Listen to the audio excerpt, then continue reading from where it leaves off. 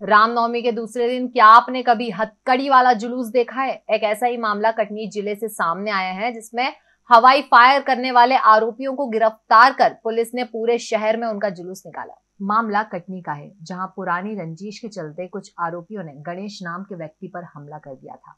आरोपियों ने गणेश निषाद के साथ पहले मारपीट की, फिर बंदूक से हवाई फायर करते हुए मौके से फरार हो गए।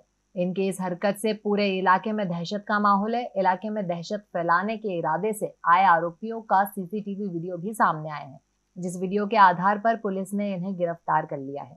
और आगे कोई भी इस तरह की हरकत ना करे, इसके लिए पुलिस ने तीनों आरोपी मोनू ठाकुर, शिशिर ठाकुर और शुभम ठाकुर को हथकड़ी लगाकर पूरे शहर में घुमाया। ये वार्ड में शुभम भट्टी मोनू ठाकुर, शिशिर ठाकुर द्वारा हवाई फायर किया गया था। उन आरोपियों को हमने गिरफ़्तार किया है। गिरफ़्तार करके आज न्यायालय पेश कर रहे हैं। विवाद का इनका पुराना कारण है। इनका पुराना विवाद चल रहा था। उसी बात की रंजिश को लेकर के इनने आपस में मारपीट की थी। ये गणेश निषाद है भट्टा मोहल्ला का। इन, इनसे इनका विवाद है। वो खबरें जो आपके काम की है।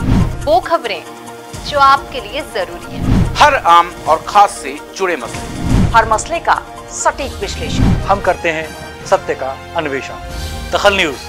आपके हक में। आप देख रहे हैं दखल न्यूज़।